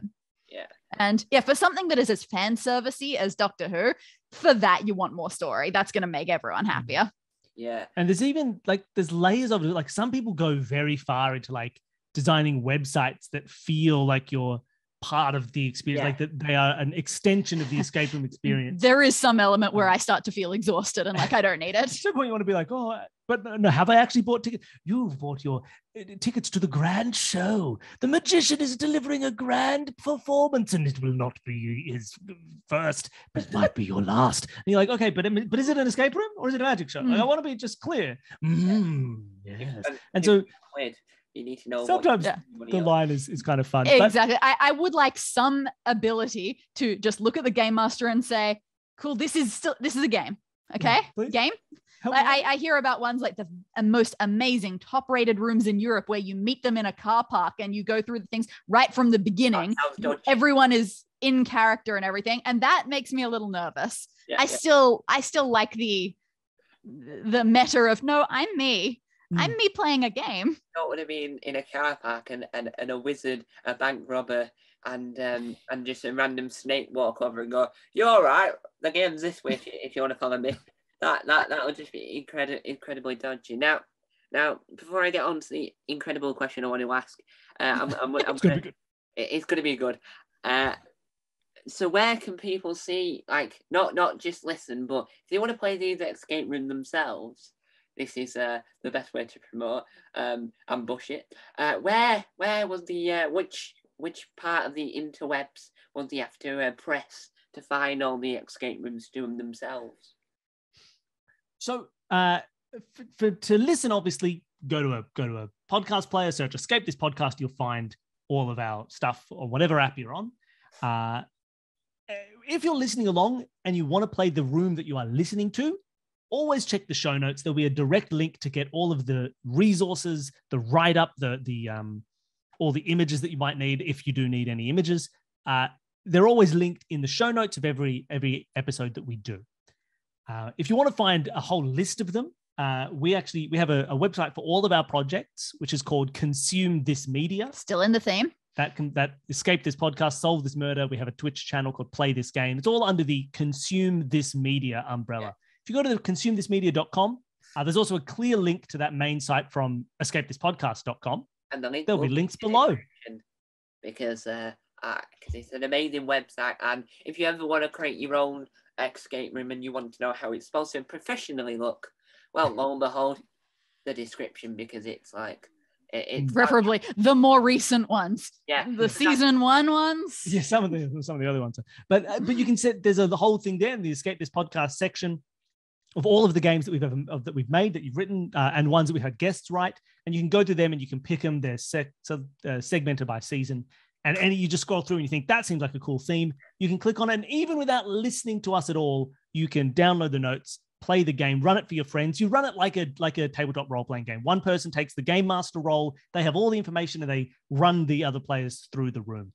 Um, and it's all free. It's all you know, easily accessible and, and a great fun thing to do with friends. So now No enemies. we come to the uh, link in the description for all that information, and it will repeat at the end of the interview, just in case you skipped right to the end because you didn't want to hear me witter on. Um, so Expectations are high now. yes, Yeah, Here this is is- it. This is the big question. if this is the incredible question that that I might have hyped up that might have then fall flat on his face or its feet, depending on what type of animal it is. Uh, so you've wrote, so say if you've wrote a one hour um escape room, how long is the recording time? Oh, that, yeah, that can be pretty variable, can't it? I reckon you usually add about 50% of the time. To, I think- just to the room to the itself. I think for when the when the final episode is an hour long, then the recording, well, maybe not 50%. Like the recording's usually an hour 20, an hour and a sometimes an hour and a half, depends on the room. Sometimes you do a three hour recording and you can only cut it down to a two and a half hour uh, episode. You go, well, I guess it's just a long one. Um, but generally, right, like uh, we're making an escape room. We're getting it, we're getting people to play it, but we also need to be aware that we're making a, a show, right? And so there are times when people are playing where they're sitting there going, uh, oh, wait, hold on. I just got confused over my notes. Wait, have we done have we done this? Uh, okay, what I got to write out the alphabet, write it out again. Oh no, I double messed it up. Let's write the oh, alphabet wait, a I couple more one right. times. Let's try. And you're just like, no one needs to hear that. Cut it all out. We get 20 minutes of dead air turns into an immediate transition from, wait a minute, I got to write out the alphabet. Oh, I get it. Here's the code. You're like, great. Yeah. You know, we didn't need to to go off on yeah so we, we always tell our guests when they play look we tell our audience and this is true it is always a very honest final cut. You're never we're never editing something down to change the fundamental way it went or to change to make people seem smart when they weren't or to or to make the answers better or, or- like it's always a very you're getting the a, a true representation of those players playing that room making the same mistakes making the same decisions. But we do also tell our guests that they're always going to sound smarter in the final edit because we get rid of dead air and repetitions and moments where they read something wrong and or it was our fault or, or, or they've decided completely to go off in the wrong direction we have to bring it or we cut some tangents where we were talking about some other thing and we go wait a minute we're making a show let's go back to it So it's very snappy. It always we sort of edit the the pace down a little bit, um, but it's it is still a very true exp- uh, kind of version of the experience, just one that is more enjoyable to listen to Yeah. than the raw recording would be. Yeah, quite frankly, the actual recordings of the rooms, I agree, maybe 50% more depending on the Hmm. original length of the room. Like if one actually managed to stick to one hour, then it probably was one of the easier ones Mm. nowadays. So And- it probably wouldn't take much and longer. to be honest, a lot of the stuff we cut is also unrelated to the room entirely. oh It's yeah, when- we just go off on tangents. it's when we're in the middle and, and someone says, Oh, this is like that episode of Taskmaster. And we go, Yeah, right. And then we talk about Taskmaster for 20 minutes and go, Oh, let's cut all that. That's uh that's not relevant to the yeah, room. the room itself is pretty snappy. All of the aside conversations that we take before, during, and after, that's what That needs goes on editing for a while. down. Yeah. As and- you've as you've learned from this interview, we can talk for quite a while. Yeah, well, so can I. Um, some some people w- always ask me, "Do you, do you talk in your sleep?" Uh, I- I'm like, "No, do, do you? Are you a nuisance at home?" Um, and and then and then I reflect when I do it at home, and then I realize I'm a nuisance to myself because my mum would walk in and go, um, "Who are you talking to?" I went, "I'm just talking to myself because I'm like yelling at something on the TV. It's like." of course. thing or, or or they're about to do something that I don't really want to see it, but they're going to do it. I say, "Oh, get on with it," um, and and and so so if so from from that, so if I uh, th- th- this is going off complete tangent that probably won't make it in the final edit, depending on what words I use. I have to be careful now. Um, so if I had um made an escape room and, it, and I needed to keep it under an hour, how would I go about making it a good escape room, but still keeping it within an hour when you come to record it? Apparently, I've gotten worse and worse at this over time. So perhaps I don't have any right to be answering this. I think a big part of it is you you have to know the length of your room, how long it should take, and you need to know when to push. Right? No one wants hints too early, but if you're making media, you know that you have to get to the end. And so part of it is is thinking to yourself, here's where we are now. They haven't noticed this. They haven't done this. Okay.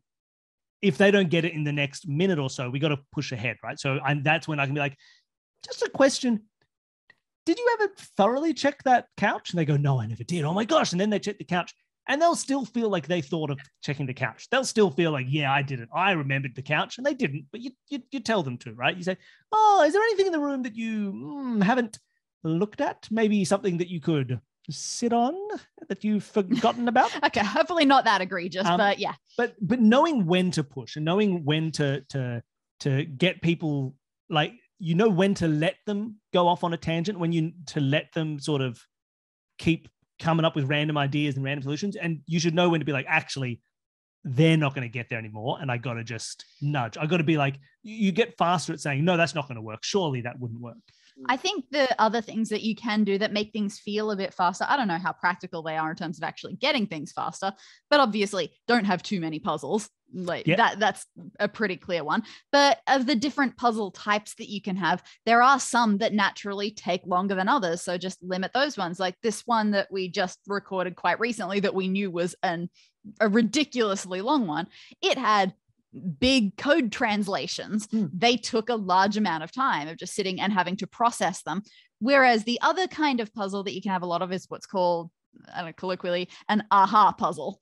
So that's just one where you stare at it and then, oh my God, it's right there. Okay, done. Mm. And as soon as you have seen it, you have solved it. and that's great because then you you there's no You- time there's no tedium to it and so we and for example we we just did two rooms very recently one that we knew was going to be an episode of a podcast and Yeah. one that we knew was going to be a live stream Yeah. and the podcast episode had these process puzzles ones where once you know what to do you spend some time doing it it had a few of them Yeah. because we knew that we can cut them down for time and we knew there was no time limit right we could have it to be as long as it wanted we didn't then put those in No, the live show had nothing like because that. it had nothing like that because uh, once you figure out what you should do pretty much uh, you you uh, you are then done the puzzle is finished once you figured out what you should be doing um, little bits of of then applying that knowledge right like oh it, this these things are, sound like a code and we got to try and make sure that it goes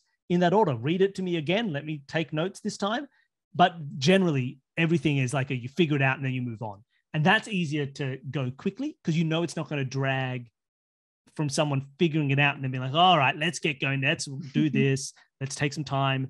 Um, so those knowing when you have a time limit, what types of puzzles Hmm. Is is a good and and just and you'll figure it out by playtesting it as well, right? Get a few people to play it, see how long it takes them. If it's they're consistently taking an hour, then you're probably fine. Maybe you then want to make sure that your playtesters are probably consistently taking 50 minutes because if you're they're if not you're trying to be rigid about it. because if you're making a show as well, you kind of want people to be a bit looser and jokier and and make and have some fun stories as you go, or like make a funny comment. So like you, you probably want people who are just sitting to play the room Yeah. and not making the show to be doing Yeah. it 45 or 50 minutes. Exactly. Yeah, there are all sorts of little adjustments that you can probably make. For instance, your final goal in the room. Some rooms have a lot more of a loose goal where you're not 100% sure where you're going to end up. But I would say that often, if you're trying to be snappy, knowing what your goal is from the very mm. beginning can make it just feel quicker because the players can direct themselves to the things that they think are going to solve things faster Yes. it might not even actually make a proper tangible difference, but it very much feels like it does. And the players are going to be more certain in their decisions. yeah, and giving them a sense of urgency. Yeah. You can make people focus up in an escape room where there literally are no stakes. They're not in the room. But if you're just like, yeah. oh, They're not even someone's losing coming, money on this. They're gonna get you. They're gonna get you. Then they'll be like, okay, we gotta go quick, guys, because someone's coming to get us. Let's. Oh, we know that the door's closed. Let's just go over the door. Open the door, and then they'll find. Um, whereas, yeah, we run rooms and have played rooms where when you start, it's just like, welcome to the space. you are going to investigate this and see what happens. Yeah. which works great. It's definitely a less Mm. urgent feeling. and you can feel that the pace from the beginning is very well. Oh, maybe let's look at this. Let's tell a joke. Let's uh, open this thing. Let's and then you don't pick up the pace until the end of the room where now there's stakes and there's tension. We're like, oh, let's quickly, quickly, quickly do this.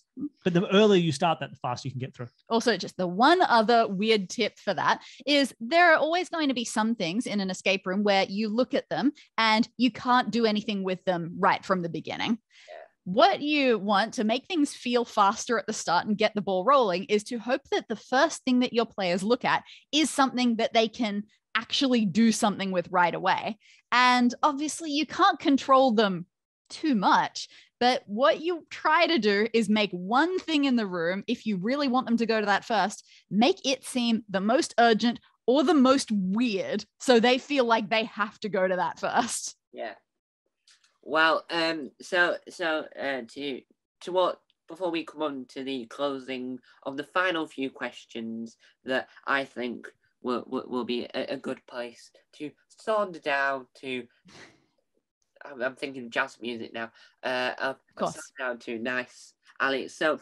So the, the, the reason why I was asking that there, there is a reason, and I don't mind telling my viewers this. Uh, so so because because your podcast is amazing, and because this interview has also been amazing in in, in the same sense, because uh, obviously a lot of things that people I end up interviewing, I interview one because I like what they do, and two because at some point I've been inspired to do something because of their thing, and and and because uh, on my radio show uh, at my college.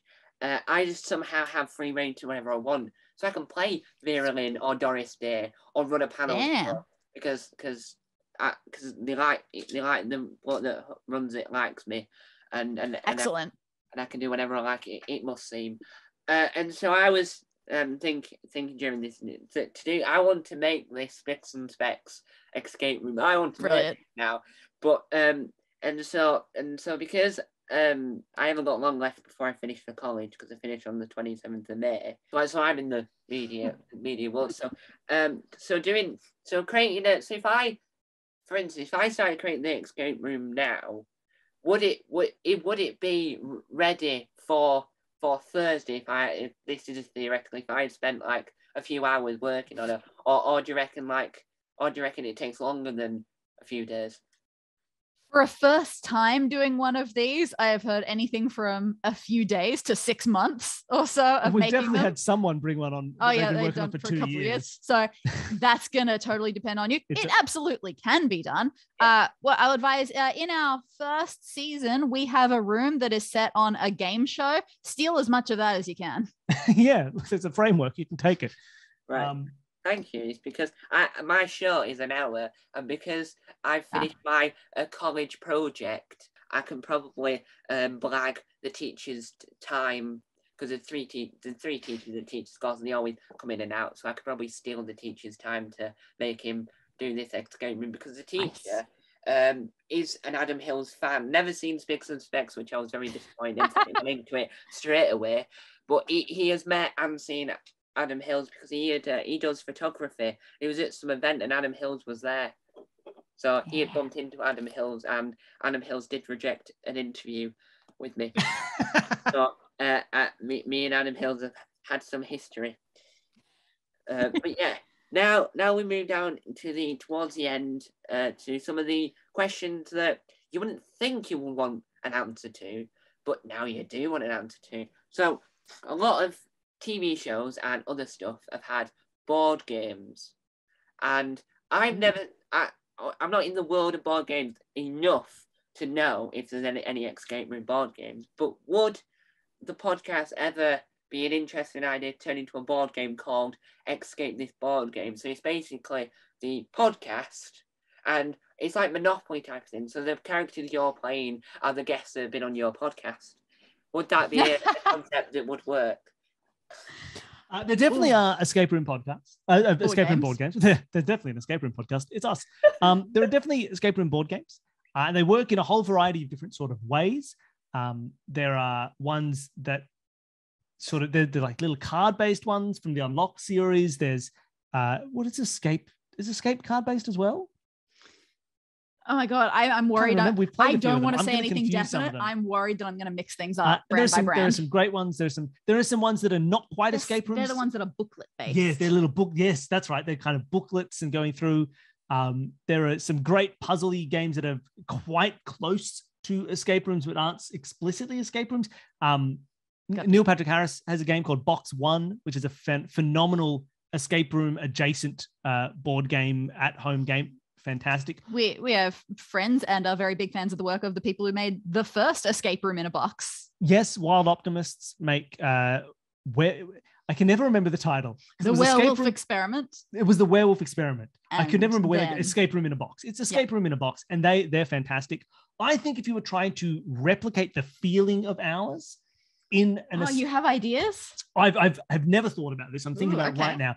I think because what is so fundamental to I think the flavor of our show uh, is your narrative writings. The fact that you are a, a, a an author as much as you are a puzzle designer, Which is right? hilarious since I do escape rooms more for the puzzles and the stories. but, But, you make them with such good or with such good narrative and audio. I think you would need to have something where there's a lot of pre-written like things on cards almost. I could imagine you could literally have like a map as a board and place the the you know you you draw instead of having a, a picture of a table on the on the board, you have a card where the back of it is a table.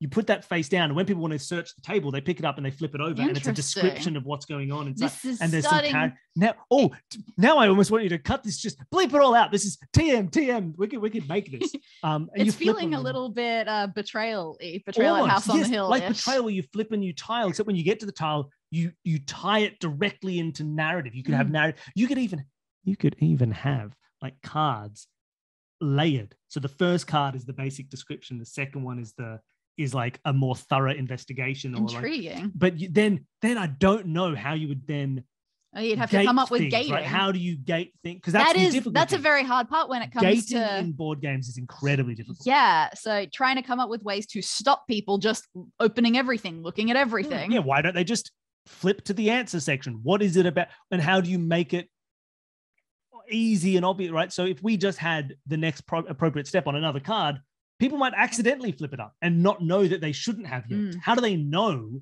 And not even it's not even about stopping people cheating. People can cheat at any board game, right? You can just grab a handful of houses in Monopoly and throw them wherever you want.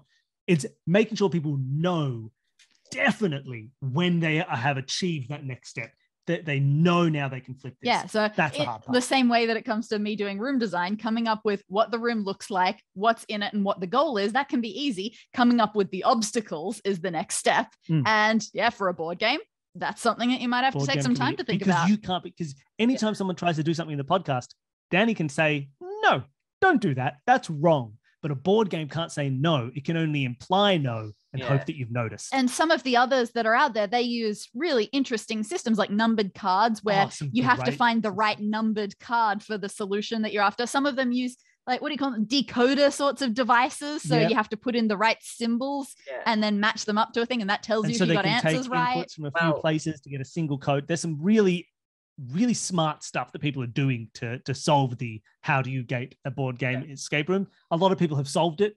Um, we would have to solve it in a different way, I think, Yeah. to make it feel like our show. Yeah.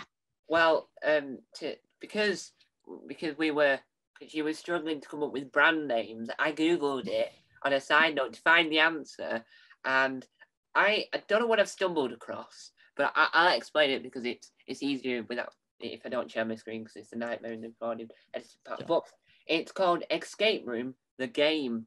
So Ah. it, it's like a box. I don't know if you've heard of it, but it's like a box like that that big and and it has and it has a timer. So the website is just built to it has a timer on it. So you have how long you've got until you do it, and you and you get a pack with a different inf- piece of information on it, uh, and it and it just seems really really interesting because you have to identify it, it, and it says the tagline is uh, the ultimate escape room experience at home. Yeah, so there are a few of them out there right now, and you know everyone has different ones that they prefer because they do all approach it in impressively different ways. Considering you wouldn't think that there were that many different ways to get through this. Yeah, I think I think one of the things that was really interesting about Escape Room in a Box, that was one of the very kind of first versions of it, is they embraced having like actual props and puzzles. Mm. There are that is not just cards or information. They have things that you can do, and it feels like when you're in an escape room, you've got the objects and you're trying And to course, put them in the right places and align things. And they, that's the element they have that a lot of other ones don't. Whereas Unlock has a big technological uh, element to it the, as well. but also the way they use their cards Mm. they have a, a really nice way of emulating searching and f- like they will because they have numbered cards that you have to get to but sometimes you'll like see like go wait a minute like, You're looking at the up. artwork on like, one of the cards. the artwork on like on this mirror there's a little 31 in the corner does that mean that's card 31 and it's kind of hidden it's literally hidden to from you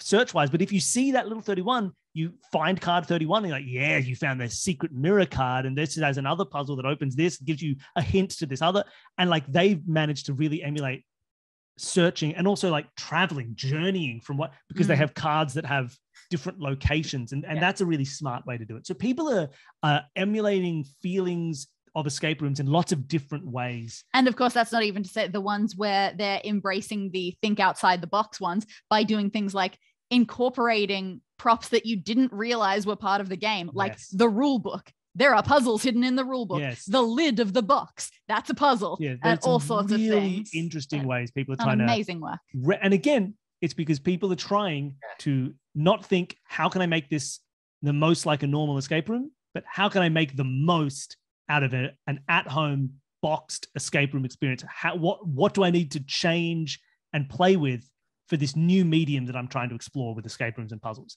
Um, and the more earnestly and intelligently they think about that and really embrace what they're doing with that medium the better it is. It's always it's it just creates the the best experience. You don't want it to be, hey, this is a bad simulacrum of a real escape room, Mm. right? You want it to be a perfect version of a boxed escape room.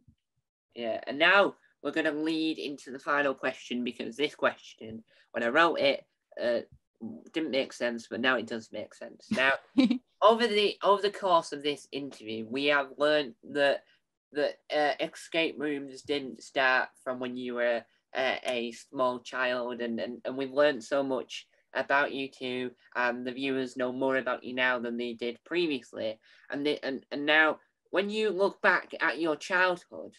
Uh, was there any TV shows or anything that that now when you think about it sort of was what made you get into this area because it's like um, a niche area to get into but the, the norm, normal when you think about it is something it, when you were a child that sort of started it but you didn't realize until later on in life I have very much been going back and looking at things in my childhood. Look, I was always, I was nerdy kid. I was very much, I went to trivia nights with my parents and things like that. I would write my own tests and things like that and say, oh, this is Dani's IQ test. And it was very clear that this was going to be something I was into. But I have noticed it more and more, like going to my parents' house, searching through a bookshelf of my old books. I just found one recently from when I was, I don't know, 12 years old, and I found it, and it is just puzzles of all kinds. It has memory tests, it has number patterns, it has all the mazes and spot the differences and simple things like that. It had every kind of puzzle. And I just blasted through that thing as a child. And I just go, I didn't remember this book existed. I didn't remember that I was so into this. Apparently, this has always been a thing that I've been into more than I even remembered. Whereas for me, I don't think I really was into puzzles as a kid. I never really, I don't think I, I don't think I properly got into puzzles until my mid twenties when we like, you know, like, wow. but I think the thing for me that really transitions into escape rooms and what we're doing now from a young age is adventure games. That's true. On computer, like old Sierra advent, like playing, uh, uh, playing like uh, Grim Fandango, right? Classic Lucas Arts games like Monkey Island and things like that. Um, I, I mean, I played Grim Fandango over and over again when it came out.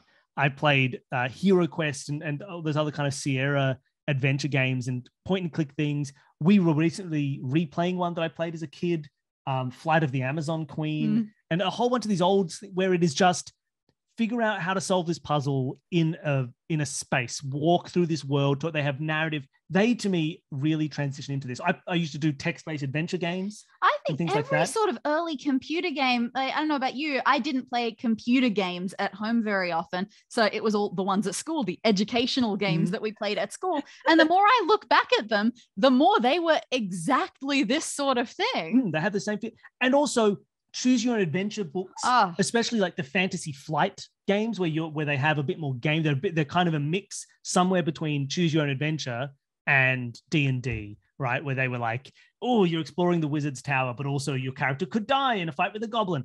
I loved the fantasy yeah, flight games. Mine were the give yourself goosebumps. Give yourself goosebumps. R.L. Stine, I think I, I've been reading him since I was what six years old or something, and I'm still not stopping. I think that he is a huge part of where I am now. Mm.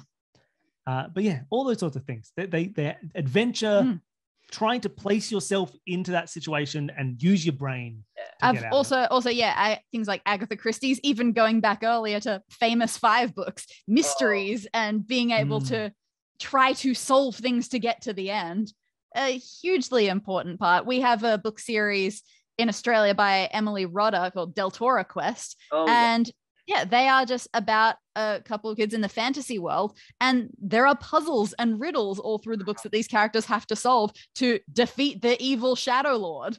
And yeah, it's just all there. It's fantastic. It just all really, it, it's all in so many things that I mm. went to. And I never found all of these connections until you start looking for them right now. Yeah. Yeah. Well, uh, Doctor Who, well, for me, Doctor Who, they released two choose your own adventure books where they're like don't pay 265 to find out what happens next and you and you do it and, and that and that's incredible. Now now we come to the end of the interview before we get into a very interesting thing that might make a deleted scene or might make the end of it depending on how well it goes but i am I, am laughing on the inside. So uh, for viewers that might not remember would you be able to replug where they can listen to the podcast, where they can find the website, where they can find anything they want to about you to watch you climb from where you were before this interview and where your fame is going to rise yes. and rise.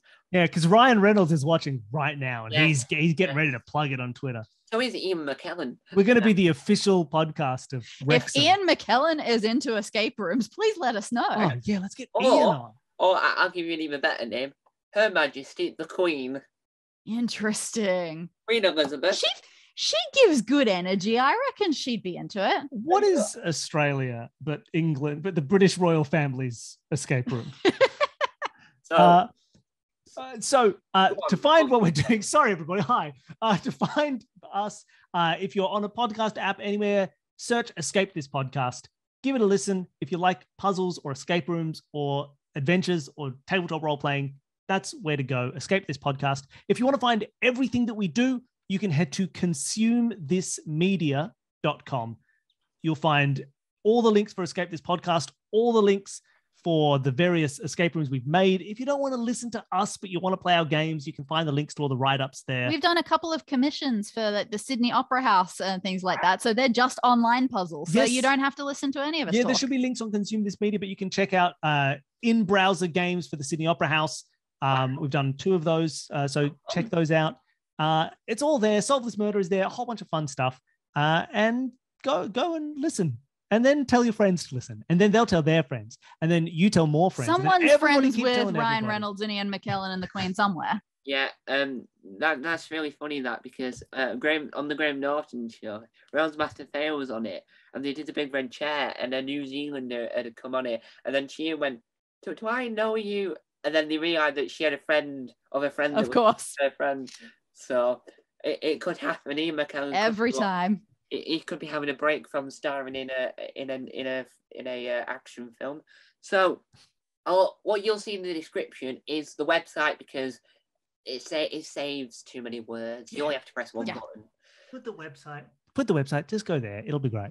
Yeah. Now, um, uh, hello. If you watch this on deleted scene or or uh, enjoying this, like, but so for for context, so on Tom's Comedy Club, we have a panel show called Tom's No More Jockeys. Basically, Alex Horne panel show. Alex Horne Oh. knows about it, and Alex Horne has shared it with his friends. So, Nice. so, yeah, and, and and my twist was to at random points I would say the name of the contestant, and then we would then they would start singing the song I told them to sing, uh, because obviously I don't want to cause cause any uh, uh, upset for Alex, so I changed it a little bit. So I thought just just because um it, just because why not for us three to try and attempt to sing the uh, round the twist theme tune just because it's a good theme tune, and if Oh might they might recognize the theme tune more than the program itself, and it might help them. text it. Goodness. You want Right. sing round the twist? Oh, that's tough. Do you have do you have to do the round? Of course you do. Yeah, you gotta do that. Twist. At the start. Exactly. Right. Is you gonna sing? So it's we'll all sing it at once because it's all of us at once. That's me. Zoom's we- gonna be fun. Right. All right. On my, on my count, ready? I hope we know where it starts. I don't, well, we'll all just pick up at some point. It might be disaster. Who knows? Right. Ready? So are we gonna start with the weirdness or no, with the we're just have going you? straight in. Straight okay. in. We'll All just right. go Have you straight in, or else we'll Okay. be here all day. Ready? Okay. Have? Three, Yep. two, one, go. Have you, Have you ever, ever felt like this?